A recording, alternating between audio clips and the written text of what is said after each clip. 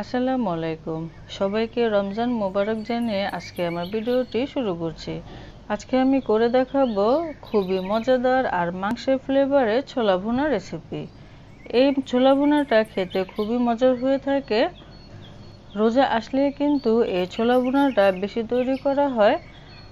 এই ছোলা ভুনাটা মুড়ি দিয়ে বলেন, শুধু বলেন, খেতে কিন্তু অনেক ভালো লাগে।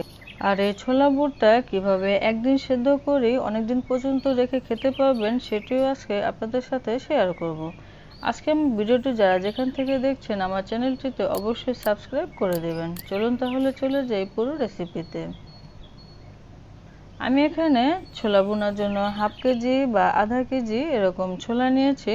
এটাকে আমি সারা রাতের জন্য ভিজিয়ে রেখেছিলাম। তো ভিজিয়ে রাখার পরে আমি ভালো করে ধুয়ে পরিষ্কার করে নিয়েছি। ভিজিয়ে রাখার আগের ডালটাও দেখিয়ে দিচ্ছি। ভিজিয়ে রাখার আগের ডালটা কিন্তু এরকম শুকনো আর ভিজিয়ে রাখার পরে ডালটা কিন্তু ফুলে ডাবল হয়ে গেছে। আমি সারা রাতের জন্য ভিজিয়ে রেখেছিলাম, তো ডালটাকে ভালো করে ধুয়ে পরিষ্কার করে নিয়ে এসেছি। এখানে এখন যথেষ্ট পরিমাণে পানি দিয়ে দিচ্ছি। পানিটা একটু বেশি দিচ্ছি কারণ এটাকে ভালো করে সিদ্ধ করে নিতে হবে। আর এই ছোলার কিন্তু সিদ্ধ হতে একটু সময় বেশি লাগে। তো জন্য পানিটা আমি বেশি করে দিয়ে দিলাম।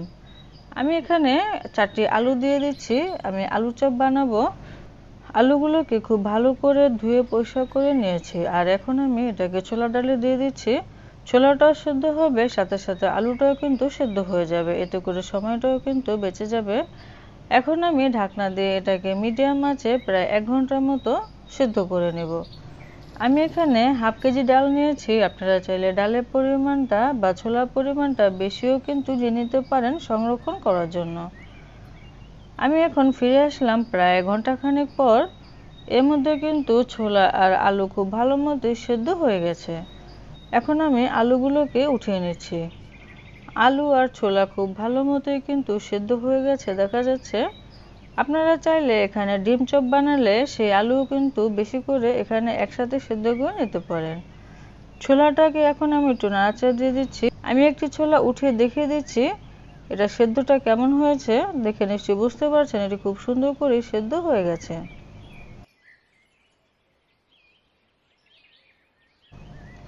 এখন আমি এগুলি পানি থেকে উঠিয়ে নিব।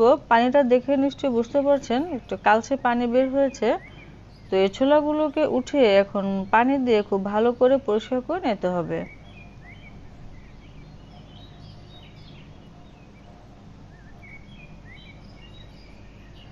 ছোলাগুলোকে খুব ভালো মতো পানি দিয়ে ধুয়ে পরিষ্কার করে নিয়েছি তো এখানে আমি আধা কেজির মতো ছোলা নিয়েছি, তো সবগুলো আমি রান্না করব না, এখান থেকে আমি দু কাপ পরিমাণ রান্না করব। আর বাকি যে ছোলার ডালগুলো থাকবে, সেটাকে একটি বক্সে ভরে ডিপ ফ্রিজে রেখে দেব। প্রতিদিন রান্না করার কিছুক্ষণ আগে ডিপ ফ্রিজ থেকে নামিয়ে ধুয়ে পরিষ্কার করে নিলে কিন্তু হয়ে যাবে। তারপরে এটাকে বাগার দিয়ে নিতে পারবেন।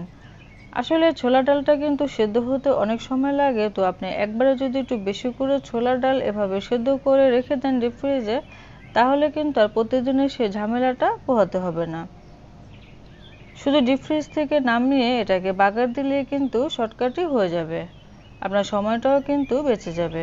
এখানে আমি দু কাপের মতো ছোলা বুট নিয়েছি, এটাকে এখন আমি রান্না করব। চুলায় একটি প্যান বসিয়েছি, এখন আমি এখানে হাফ কাপেরও একটু বেশি হবে তেল দিয়ে দিচ্ছি। এটা কিন্তু ভাজা পোড়া তেল। ভাজা পোড়া তেলগুলি এভাবে রান্না করলে কিন্তু শেষ হয়ে যায়। তেলটা কিন্তু গরম হয়ে গেছে, এখানে আমি হাফ কাপের মতো পেঁয়াজ কুচি দিয়ে দিচ্ছি। ছোলায় কিন্তু তেলের পরিমাণটা বেশি লাগে, কম হলে কিন্তু ছোলাগুলো খসখসে হয়ে যায়, এতে করে খেতে মোটো ভালো লাগে না।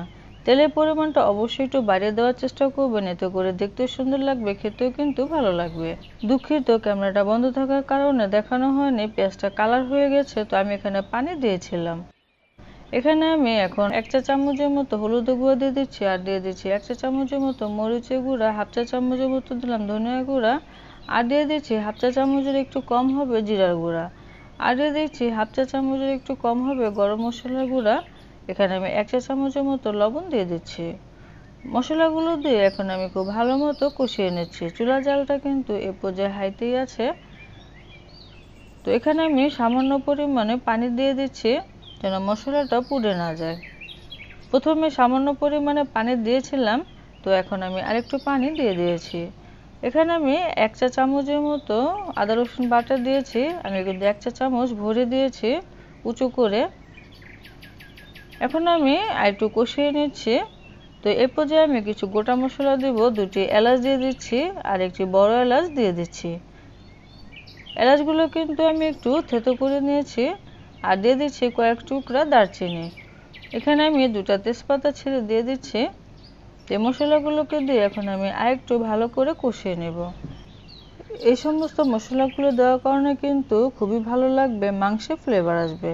মশলা কিন্তু কষানো হয়ে গেছে, এখন আমি ছোলার ডালগুলো দিয়ে দিচ্ছি। এখানে আমি দুটি আলু এভাবে ছোট ছোট করে কেটে নিয়েছি, আপনারা চাইলে আলু ছাড়াও কিন্তু রান্না করতে পারেন।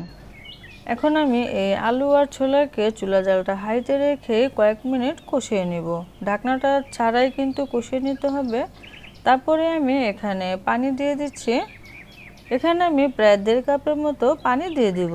এতে করে আলুটাও কিন্তু খুব ভালো মতোই সেদ্ধ হয়ে যাবে। আর চুলার জালটা কিন্তু মিডিয়ামে রেখে এটাকে সেদ্ধ করে নিতে হবে। এখন আমি অপেক্ষা করছি পানিটা শুকিয়ে আসার আগ পর্যন্ত। আর মাঝে মাঝে কিন্তু অবশ্যই নাড়াচাড়া দিয়ে দিতে হবে। ফিরে আসলাম কিছুক্ষণ পর। তো পানিটা কিন্তু খুব ভালো মতো শুকিয়ে গেছে আর ছোলাটাও কিন্তু ভুনা ভুনা হয়ে এসেছে। দেখে নিশ্চয়ই বোঝা যাচ্ছে তেলটাও কিন্তু খুব সুন্দরভাবে উপরে উঠে এসেছে। এ পর্যায়ে আমি কিছুটা কাঁচামরিচ ফাড়ি দিয়ে দিচ্ছি। আপনারা চাইলে কাঁচামরিচ আস্তেও দিয়ে দিতে পারেন। নামানোর আগে এখানে আমি সামান্য পরিমাণে গরম মশলা গুঁড়া দিয়ে দিচ্ছি। এতে করে খুব সুন্দর একটি ফ্লেভার আসবে। এখন একটু নাড়াচাড়া দিয়ে দিচ্ছি। এখন আমি এটাকে ঢেকে দু এক মিনিটের মতো অপেক্ষা করব। ফ্লেভারটা যেন খুব ভালো মতোই ছড়ায়, তারপরে আমি পরিবেশন করে দেখিয়ে দিচ্ছি। কিছুক্ষণ পর ঢাকনাটা উঠিয়ে আমি এখন পরিবেশন করছি।